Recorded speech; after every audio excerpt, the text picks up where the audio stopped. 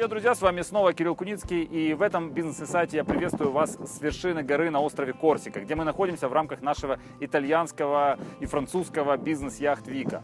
И в этом бизнес-инсайте я хочу поделиться с вами важным принципом. Это принцип, который должен, э, которым, которому должен следовать каждый собственник бизнеса. И этот принцип заключается в том, что у бизнеса не должно быть вершины. Вот как здесь, на, на той горе, на которой я сейчас нахожусь. В каждый момент времени вы должны э, видеть следующий этаж. Потому что если ваш бизнес достигает определенного уровня, когда вы расслабляетесь, вы говорите, мне достаточно, э, я не хочу больше расти, мне достаточно денег, достаточно э, успеха, клиентов, чего угодно, то автоматически э, это это становится началом конца. И э, вы начинаете постепенно терять позиции. То есть вы еще, может, э, не теряете в деньгах, но рано или поздно ваш бизнес начнет э, проседать, потому что начнет, начнет теряться сноровка команды, потому что команда это как, как группа спортсменов. Очень важно, чтобы они постоянно были в тонусе, чтобы они постоянно брали новые и новые вершины. Поэтому э, всегда достигая одной вершины в вашем бизнесе, знайте, какой будет следующая вершина. Рисуйте следующий этаж и э, говорите об этом с вашей командой. Обязательно говорите об этом с вашими сотрудниками, объясняйте им, куда мы идем, куда мы движемся.